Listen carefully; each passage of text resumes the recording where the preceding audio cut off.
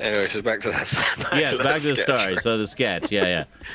Okay. So this, the third version of him walks into the room. He's like, "What you guys talking about? Oh, the new Fast and Furious movie."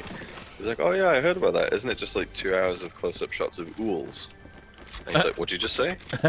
Close-up shots of ools? You mean owls? No ools. Who says ools?" He's like, "Why are you pronouncing owls as ools?"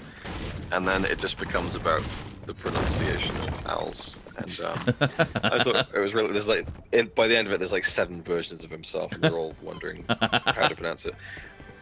I showed it to Connie and she was like actively mad at me that she'd wasted three minutes of her life watching it. It's not funny. It's not funny. funny. It's not funny, Luke. What's wrong with you?